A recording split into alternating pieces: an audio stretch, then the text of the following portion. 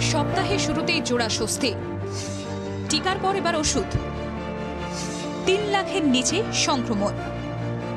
একদিকে লাগাম ছাড়া সংক্রমণ, অন্যদিকে কোভিশিল্ড কোভ্যাক্সিনের ডোজ নিয়ে দেশ জুড়ে হাহাকার। দীর্ঘক্ষণ লাইনে দাঁড়িয়েও টিকা না পেয়ে বাড়ি ফিরতে হচ্ছে অনেককে আম জনতার এমন একটা অসহায় অবস্থায় কার্যত ত্রাতার মতো বাজারে এলো defence research and development organisation সংক্ষেপে ডিআরডিওর অ্যান্টি কোভিড ড্রাগ সোমবার প্রতিরক্ষা মন্ত্রী রাজনাথ সিং ও কেন্দ্রীয় স্বাস্থ্যমন্ত্রী হর্ষবর্ধনের হাত ধরে বাজারে এলো এই ওষুধ सम्मान देने के मुकाबले उसकी कोई कीमत नहीं है इसलिए यह काम निश्चित रूप से होना चाहिए और हमारे ये जो काम हुआ है मैं समझता हूं हमारे साइंटिफिक प्रोग्रेस का एक बहुत बड़ा उदाहरण है।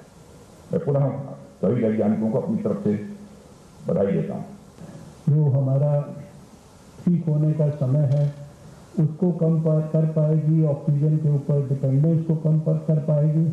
तो मुझे आज के इस अवसर पर वैज्ञानिकों को बधाई देते हुए भगवान से ये भी प्रार्थना करनी है कि ये जिस प्रकार का इसके इनिशियल रिजल्ट्स हमको ट्रायल्स में दिखाई दिए हैं ये आने वाले समय के अंदर खाली भारत के ही लिए नहीं अपितु पूरे संसार के लिए कोविड के खिलाफ जंग में एक महत्वपूर्ण भूमिका निभाए পোশাকি নাম টু ডি অক্সিডি গ্লুকোজ ছোট করে টু ডিজি ওষুধটি তৈরি হয়েছে ডিআরডিওর পরীক্ষাগার ইনমাসে সঙ্গী হায়দ্রাবাদে রেড ডিজ ল্যাবরেটরিজ। পাউডার আকারে প্যাকেটবন্দি অবস্থায় মিলবে ওষুধটি।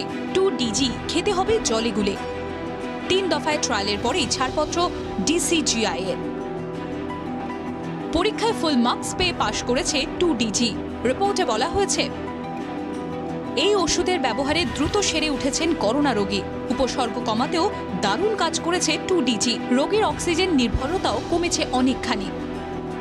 টু ডিজির আত্মপ্রকাশের দিনই কিছুটা হলেও স্বস্তি দিয়েছে দেশের করোনা চিত্র। এবছরে একুশে এপ্রিলের পরেই প্রথম তিন লাখের নিচে নেমেছে দৈনিক সংক্রমণ।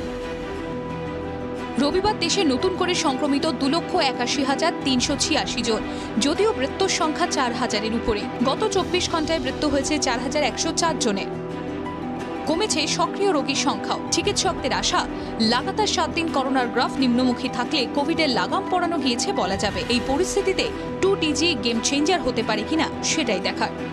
ব্যুরো রিপোর্ট, সি চব্বিশ ঘণ্টা।